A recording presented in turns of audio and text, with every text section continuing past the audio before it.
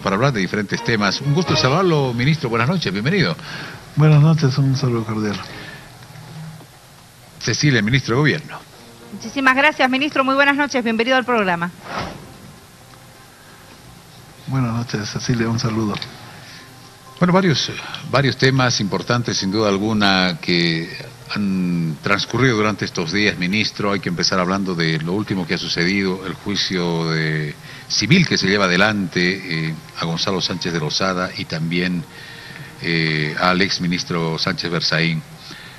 Se han hecho varias eh, declaraciones esta jornada, donde se han mencionado algunos personajes, incluso se habla del presidente del Estado Morales, del vicepresidente, ministro. ¿Ha podido escuchar esas declaraciones? O por lo menos la información.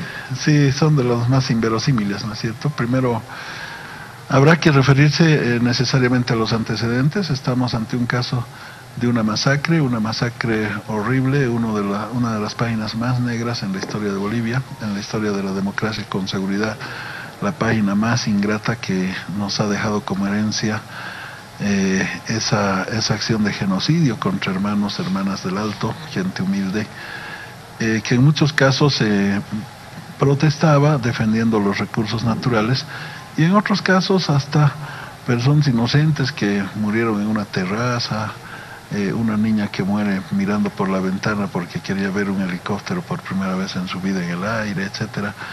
Entonces eso fue terrible y el señor Sánchez Berzaín eh, tiene la desfachatez de decir que eh, la masacre del Alto tiene como responsables al presidente Evo Morales y al vicepresidente García Linera. Esto sí que ya es absolutamente descomedido, ¿no es cierto? La masacre del Alto fue una decisión política del régimen de turno, fue una instrucción directa a las Fuerzas Armadas. ¿Por qué a las Fuerzas Armadas? Porque recordemos, en febrero del, 2003, del año 2003, este, por, la, por la misma imprudencia del señor Sánchez Berzaín, se había enfrentado a la policía con las Fuerzas Armadas en la Plaza Murillo. Una balacera, un fuego cruzado entre ambos estamentos del Estado que derivó en decenas de muertos militares y policías. Entonces, como quiera que el régimen había generado una fractura con la policía, mandó básicamente a manejar el conflicto social en el Alto con las Fuerzas Armadas. Y obviamente eh, se aplicó una estrategia de eh, matanza colectiva. ¿Y por qué? Porque el razonamiento del, señor Sánchez Berzaín, un razonamiento maquiavélico, macabro, ¿no es cierto?, en ese momento, pensaba que eh, mientras más muertos habían de la gente movilizada, la gente movilizada iba a retroceder. ¿No es cierto? Entonces, eh, eh, la masacre del Alto fue planificada, fue planificada premeditadamente, fue ordenada. La responsabilidad directa es del el presidente de entonces, Sánchez de Lozada, y el ministro de Defensa responsable de las Fuerzas Armadas en ese momento, el señor Carlos Sánchez Versailles. Eh, la masacre del Alto se produce en un contexto de agotamiento del modelo neoliberal que había dejado profunda eh, pobreza, dependencia en el país, atraso, eh, la renta, las utilidades obtenidas por la explotación del gas, de los recursos estratégicos del Estado boliviano, era apropiada por las empresas extranjeras gracias a la política económica adoptada por el gobierno de entonces. Eh, la gente salió a protestar en defensa de la economía popular, demandando que se convoque una asamblea constituyente para democráticamente transformar el Estado y sobre todo exigiendo que el gas no sea vendido a precio de gallina muerta a través de Chile hacia Estados Unidos. Entonces, eh, esos son los antecedentes y el contexto de la masacre.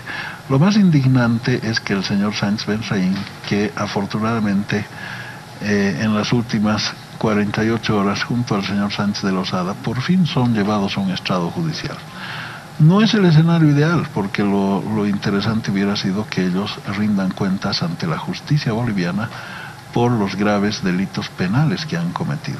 Pero eh, es un paso significativo importante que un juzgado federal de Florida eh, haya admitido ese proceso y una ONG con apoyo de abogados de Harvard eh, que, defienden los derechos humanos se hayan constituido en la parte técnica impulsora del proceso, apoyando a nueve familias víctimas.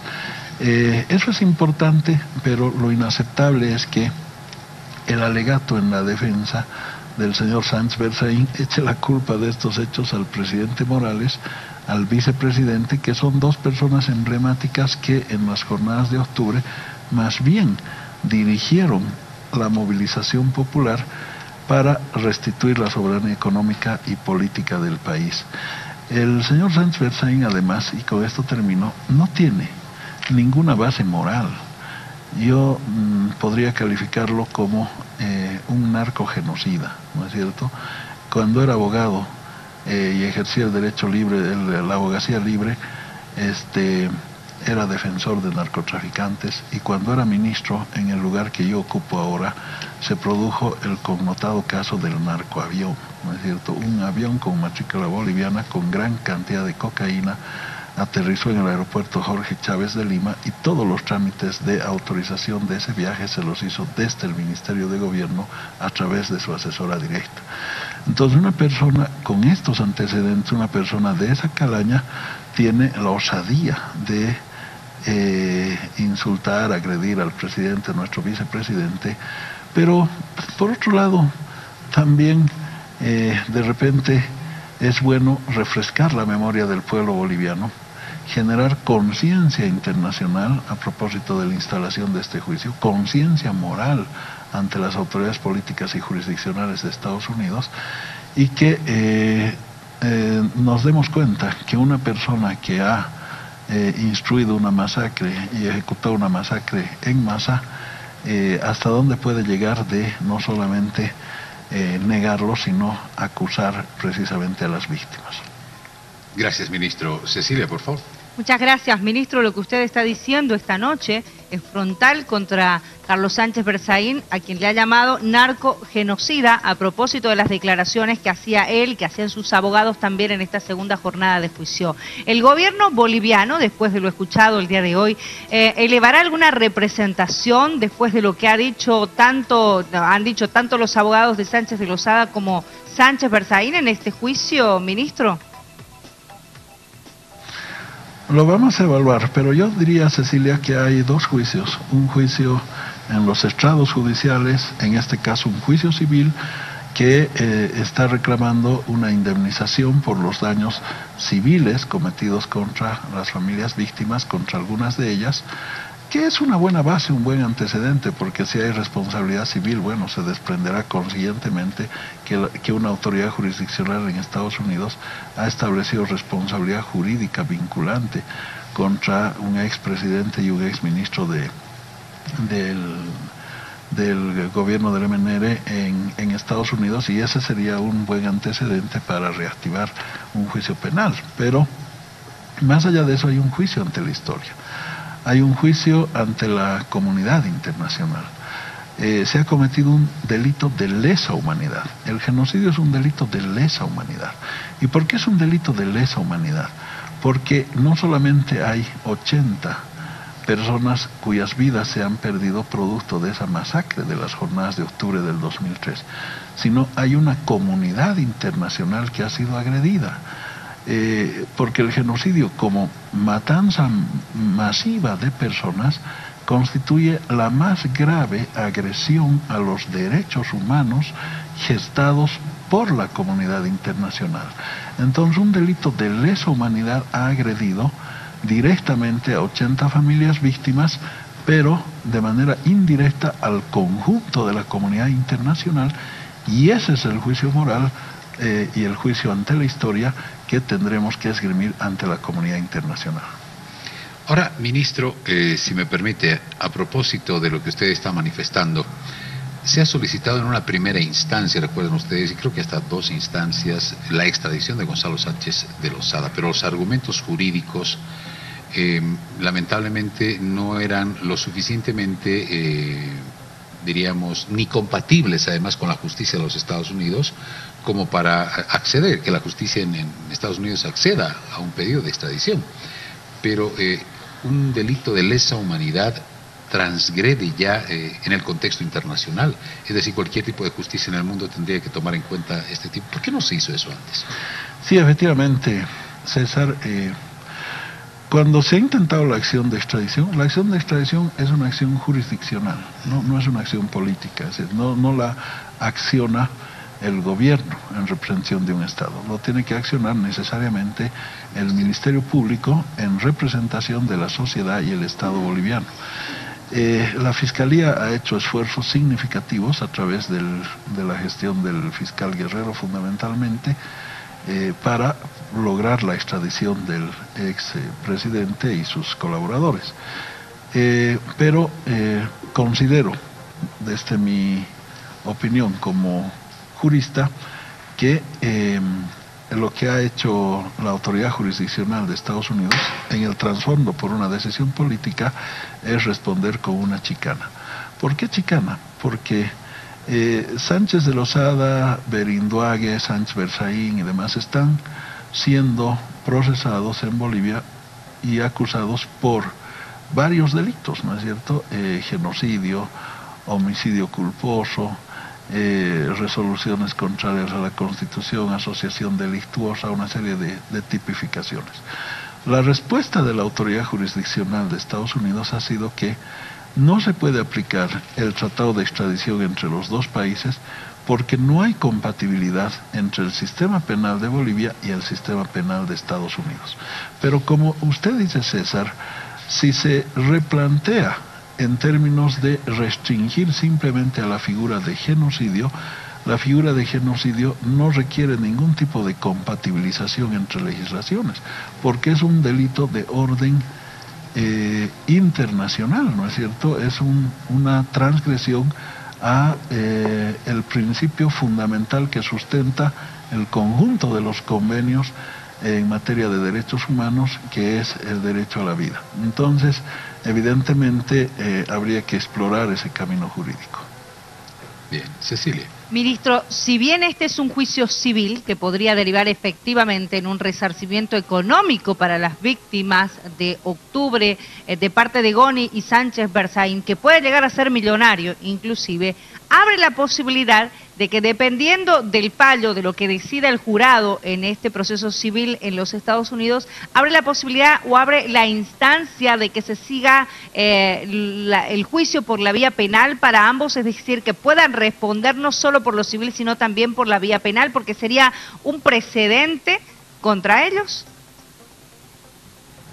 Desde mi punto de vista, sí, Cecilia. Evidentemente son dos procesos eh, funcionalmente separados, ¿no es cierto?, tramitados ante instancias diferentes. El juicio penal eh, es un juicio que se substancia o se tendría que substanciar en la jurisdicción territorial boliviana porque los, los delitos han sido cometidos en Bolivia. Y para viabilizar ese juicio penal tendría que previamente procederse a una extradición.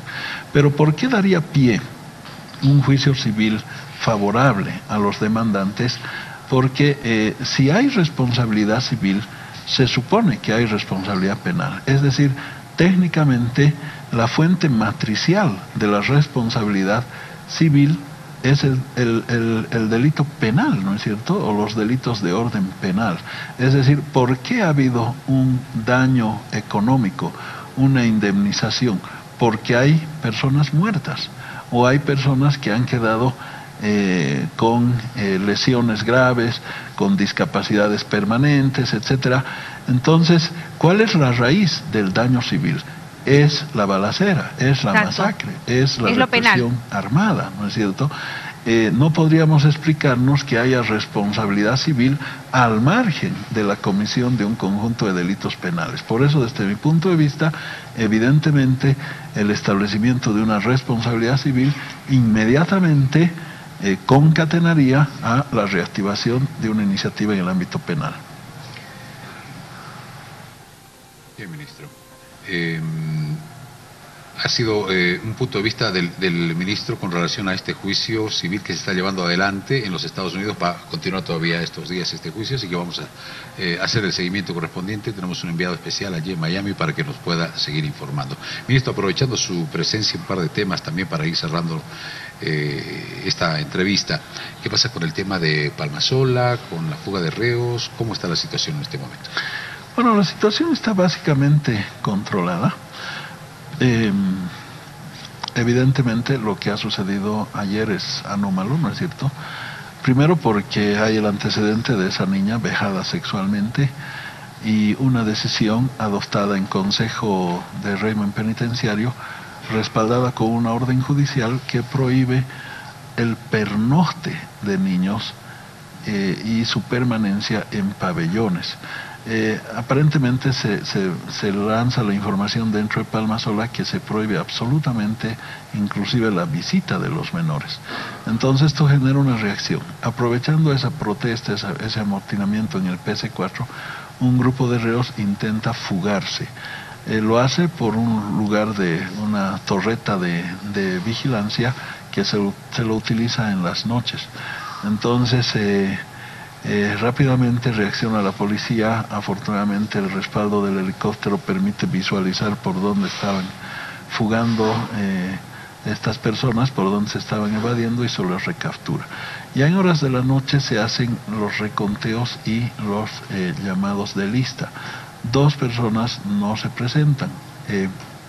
entonces estas dos personas se los ha declarado en condición de prófugos, pero hemos pedido una investigación rigurosa y está el viceministro personalmente trabajando, viceministro Quiroga, para establecer eh, cuáles son las circunstancias en las que estas personas han salido de Palma Sola, ¿no es cierto?